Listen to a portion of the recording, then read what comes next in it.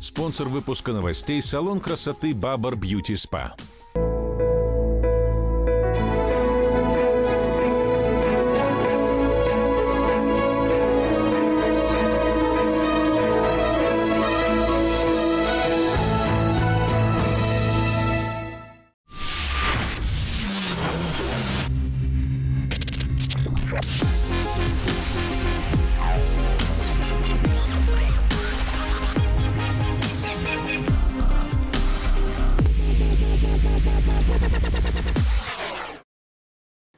Здравствуйте. Время новостей на канале «Саратов-24». Мы работаем в прямом эфире. Меня зовут Павел Фитилев. Я и мои коллеги готовы рассказать вам о главных событиях к этому часу.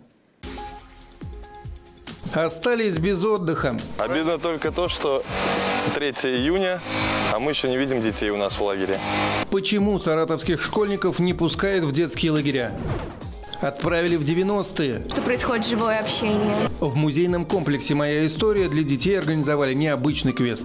Какая погода за окном ждет саратовцев во вторник 4 июня на святого мученика Василиска? Через несколько минут расскажу вам я, Александр Новохадский. Не переключайтесь. В Саратовской области продолжает бушевать мышиная лихорадка. Заезды в детские лагеря отменили. К такому решению чиновников подтолкнули санитарные врачи, чтобы не рисковать. В больницах остаются сотни горожан. Не обошлось и без трагического случая. Ученые же говорят, всему виной обильные снегопады этой зимой. Роман Базан узнал, почему число заболевших с каждым днем растет. На эту постель застилается чистая постель, и мы готовы к приемке детей. В ее лагере только и слышно рабочих, детского смеха нет. Директор Дубков Наталья Сыромятникова признается, до последнего надеялась, что заезд состоится. Обидно только то, что 3 июня, а мы еще не видим детей у нас в лагере.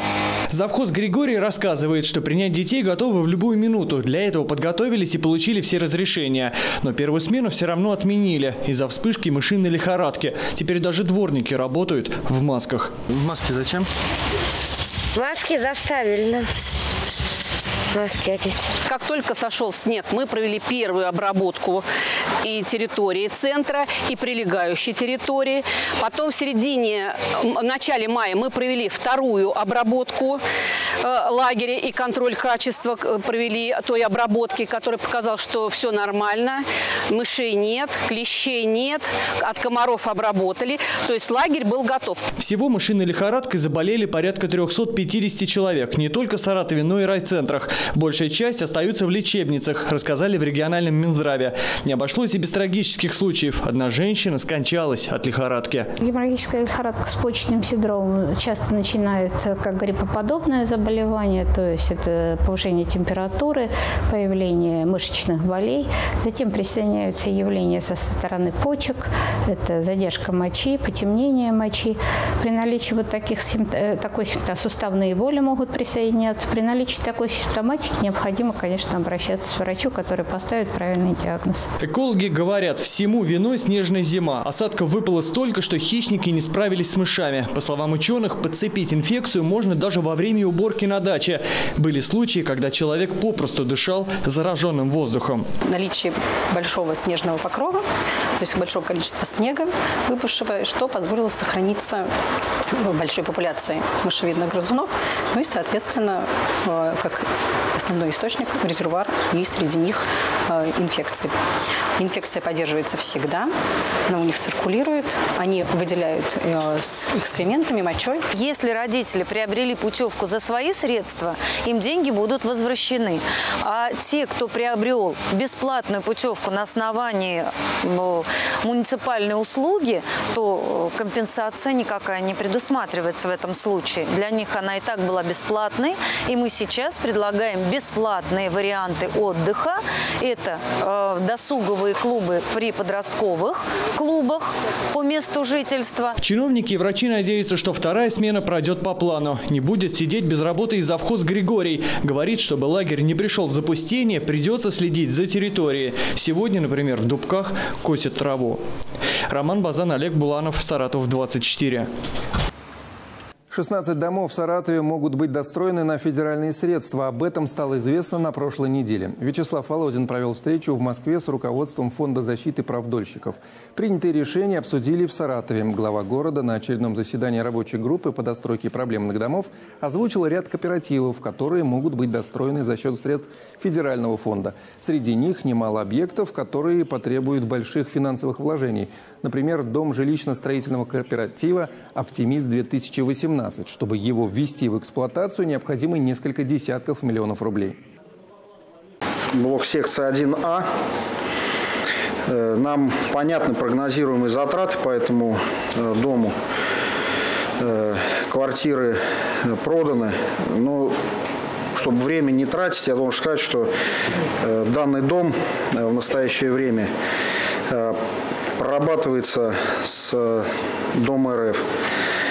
Добавить здесь больше пока нечего. Закатают в асфальт миллиард. В Саратове продолжают ремонтировать автомагистрали. Отмечу, что работы ведутся в рамках национального проекта «Безопасные и качественные автомобильные дороги». В Саратове должны сделать 96 участков улиц. По словам подрядчика, ремонтируют круглосуточно.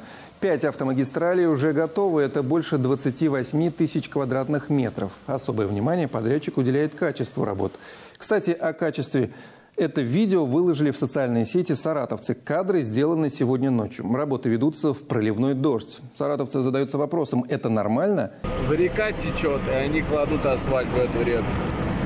А потом мы думаем, почему у нас такой плохой асфальт, Мы решили тоже узнать об этом у специалистов. Подробности в наших ближайших выпусках.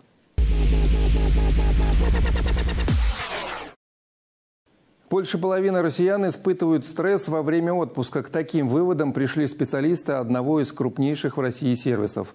Так, для каждого пятого отпускника источником стресса является организация поездки и дорога до места назначения. При этом за последние три года число туристов, у которых планирование поездки вызывает неприятные ощущения, увеличилось на 7%. Страхи не покидают россиян и после прилета в пункт назначения. 28% туристов переживают, как добраться из аэропорта до места проживания – а вот стресс непосредственно во время отдыха испытывают 10% респондентов. Основные причины – страх заболеть, а также необходимость разбираться в курсе валют, говорить на другом языке и учитывать культурные особенности местных жителей. Финансовые вопросы и беспокойство о погоде – причины тревожности на курорте для почти 40% опрошенных. Чуть меньше – 38% сталкивались со стрессом из-за страха потерять личные вещи или их кражи.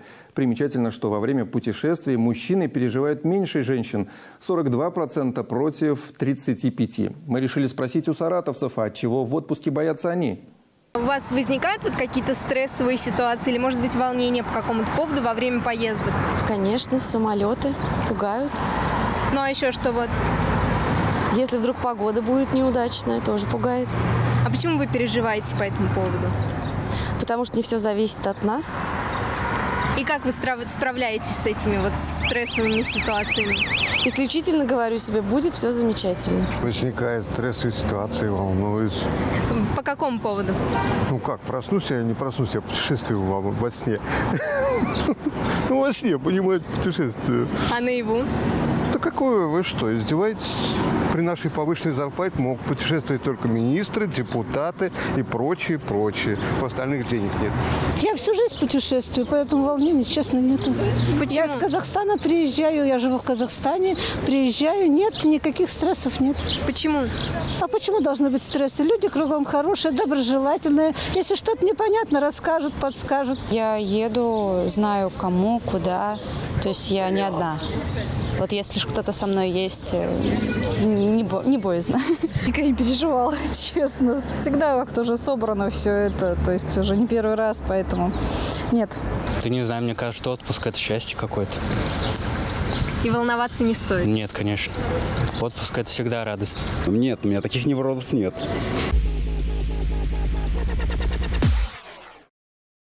Сыграли в 90-е. В историческом парке «Россия. Моя история» отметили День защиты детей. Школьники прошли несколько интерактивных квестов и познакомились с играми своих родителей. Морской бой, домино, лото, дэнди. Для ребят организовали настольные батлы. Оказалось, что многие подростки не знали правила, играли впервые. Полина Попенец видела, как школьники справились с заданиями. На один день они отложили свои смартфоны и погрузились в мир игр. Сегодня в парке «Россия. Моя история» школьники учатся быть миллионерами, играют в шашки, лото и домино. То есть все популярные игры 90-х. Девчонки, привет. Скажите, пожалуйста, вот э, в домино вы впервые играете? Нет, я раньше знала про эту игру, но только сегодня научилась в нее играть.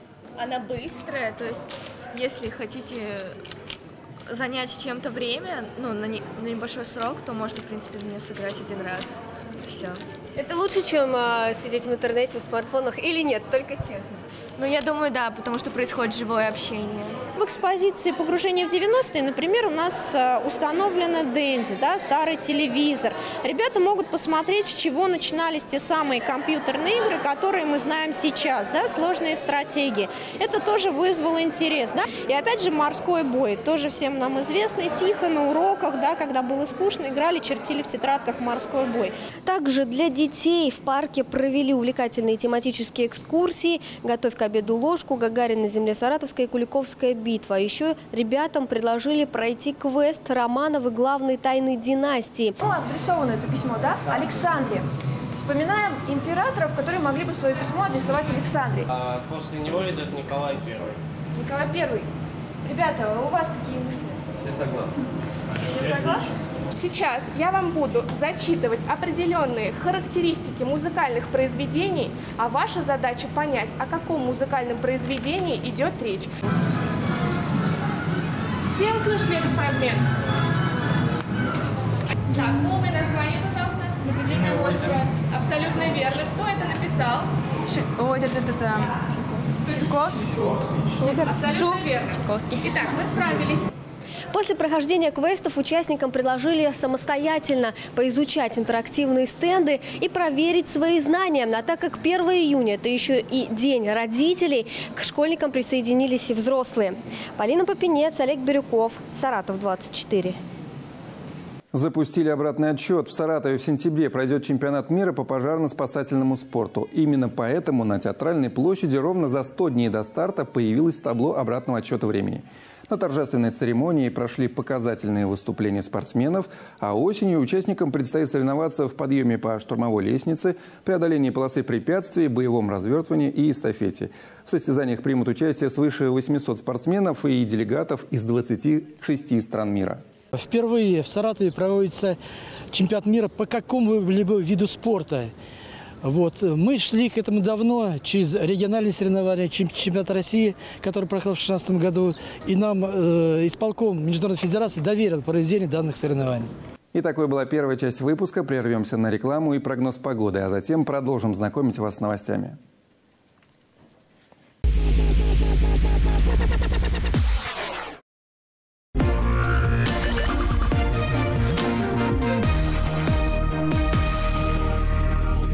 Хотите сохранить и приумножить свои сбережения? В честь своего 15-летия Гарант Кредит предлагает разместить свои сбережения до 15% годовых сроком до 36 месяцев. Телефон в Саратове 708 444. Генеральный спонсор прогноза погоды сельскохозяйственный кооператив «Гарант Кредит» поможет сохранить и приумножить ваши сбережения просто, выгодно, надежно. Телефон в Саратове 708-444. Здравствуйте. Во вторник, 4 июня, на святого мученика Василиска в Марксе, Балашове, Хвалынске, Алгае, Перелюбе, Балакове небольшая облачность без осадков. Ветер северо-восточный 4,7 метров в секунду. Днем до плюс 26, а ночью до плюс 11. А спонсор прогноза погоды секонд-хенд Вова. Внимание! Каждую субботу стопроцентная смена товара. Адрес город Энгельс, проспект Строителей 8А. Секонд-хенд Вова. Что вы купили? Дети так быстро растут, постоянно новую одежду приходится покупать. А тут с мужем зашли в магазин Вова. А почему магазин Вова? Детям купили стильные вещи, таких точно ни у кого нет. Да еще денег хватило мне на платье, мужу на свитер. Магазин Вова. Еще думаете? Проспект Строителей 8А. Саратове и Энгельсе солнечно и тоже не жарко. Температура днем до 23 градусов, а ночью до 14 выше 0. Атмосферное давление около 762 миллиметров ртутного столба. Вода в Волге пока 22 градуса с плюсом. На этой неделе, как обещают метеорологи, будет преобладать тихая и малооблачная погода. По приметам, если на Василиска соловей поет всю ночь, то день погожим будет. Всем всего доброго, берегите себя. Увидимся. Bye. Мы продолжаем знакомить вас с новостями, работаем в прямом эфире. В России заработали новые схемы автогражданки. Теперь все спорные аварии до суда будет разбирать финансовый омбудсмен. Он есть в каждом регионе. Обращаться к уполномоченному придется, если страховщики отказываются выплачивать ущерб. Также теперь водители могут оформлять ДТП без патрульных, даже если в аварии участвовала машина из-за границы, сообщают «Известия». О других событиях глазами федеральных журналистов в нашей рубрике «Новости страны». Сегодня в России прошел самый массовый ЕГЭ. Сдавали русский язык. Всего около 700 тысяч выпускников. Приняли тестирование более 5 тысяч пунктов по всей стране и за рубежом. В ЕГЭ 27 заданий. На их выполнение дали 3,5 часа. Результаты будут известны не позже 20 июня. По словам чиновников, этот экзамен один из двух обязательных. Его результат необходим для поступления в ВУЗ. Школьникам надо набрать хотя бы 36 баллов. В Саратовской области ЕГЭ по русскому языку сегодня сдавали около 10 тысяч выпускников сообщают ведомости.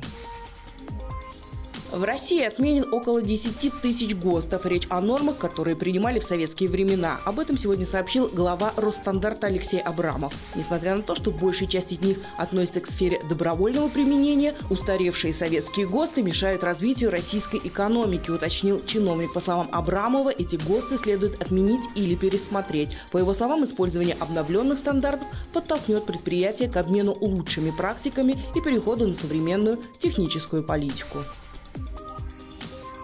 В России должник спрятался от приставов в могиле и притворился мертвым. Курьезный случай произошел в Астрахане. Мужчина не платил алимента долгов на 200 тысяч рублей. Судебные приставы выяснили, что неплательщик работает могильщиком на одном из кладбищ. Отправились туда. Злоумышленник понял, что идут за ним, недолго думая, лег в разрытую могилу и закрыл глаза. Но после того, как его назвали по имени и отчеству, вернулся к жизни. Теперь ему придется отдавать 200 тысяч рублей. Детская сказка в авторском исполнении в театре-студии «Театралика» состоялась премьера пластической постановки «Гадкий утенок». Это уже третий показ спектакля в студии. Впервые саратовцы увидели его в 2008 году. Сейчас главные роли исполнили действующие актеры детского театра. Анна Забалуева узнала, как юные артисты готовились к своим ролям и где они смогут показать свои умения. Она во дворе знатнее всех. Она испанской породы и потому такая жирная. Это уже третье поколение детей, которые выходят на сцену в таком образе. Детский театр-студия «Театралика» вновь представил спектакль «Гадкий утенок». Впервые его поставили в 2008 году. С тех пор постановка завоевала множество наград, а первые исполнители главных ролей стали профессиональными актерами. Это третий вариант. Он э, мало чем отличается от второго. Я имею в виду мизансценически. Ну, а игрой, конечно, это же играют другие дети, и даже те мизансцены, они наполняют по-своему. Безусловно, он изменился. «Гадкий утенок» – это один из немногих пластических спектаклей, которые играют в театралике. Кстати, в нем задействовано 11 детей в возрасте от 9 до 16 лет. Среди них и исполнитель главной роли. Иван Шашлов рассказывает, чтобы перевоплотиться в гадкого утенка, ему пришлось включить фантазию. Для начала я шел в городской парк на пруд, смотрел на утку и на утят и представлял э, с ними утенка такого же, не такого, как они, но который отличается от них, который больше них, который делает все не так, как они.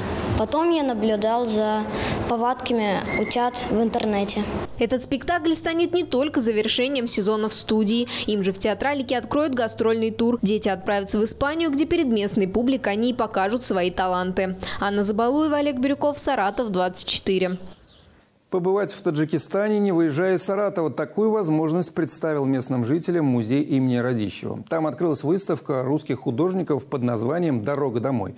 Более полусотни работ привезли из столицы. На них изображены традиции, природа и жители Средней Азии.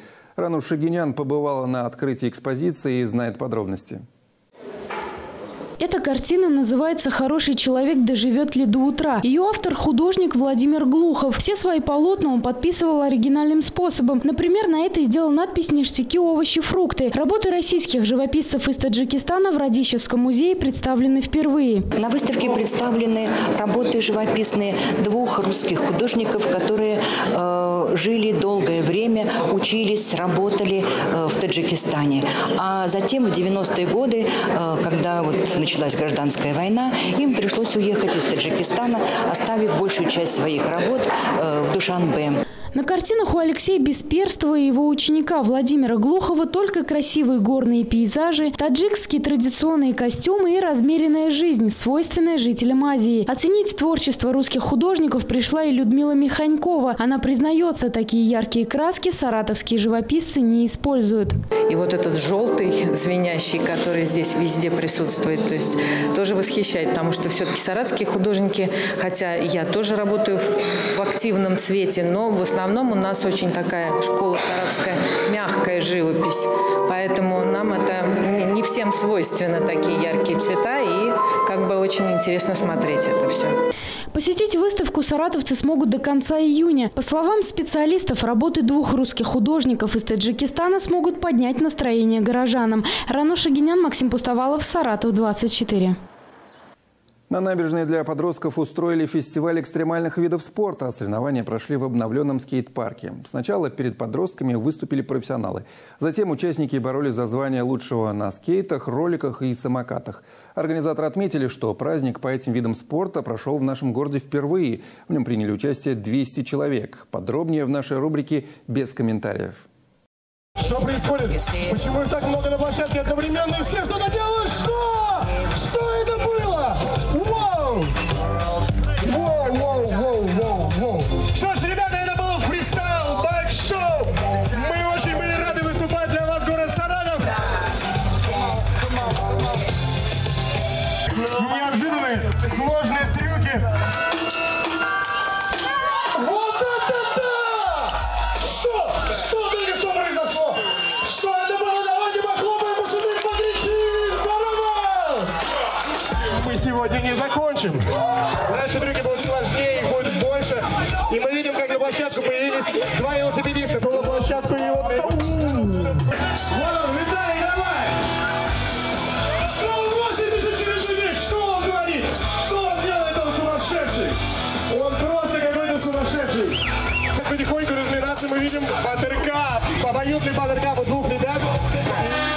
Легчайший, Артем.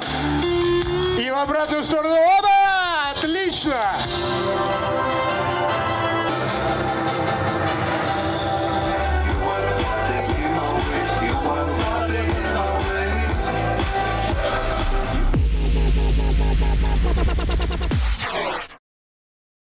О главном к этому часу все еще больше событий на нашем сайте saratov24.tv. Я же с вами прощаюсь. Всего доброго.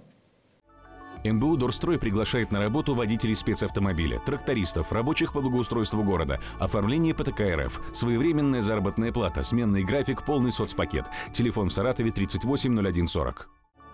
Аэропорт Гагарин ведет подбор персонала. Телефоны для информации в Саратове 30 50 80 и 30 50 90. Одежда ведущего предоставлена магазином «Брайтман». Спонсор выпуска новостей – салон красоты «Бабар Бьюти Спа».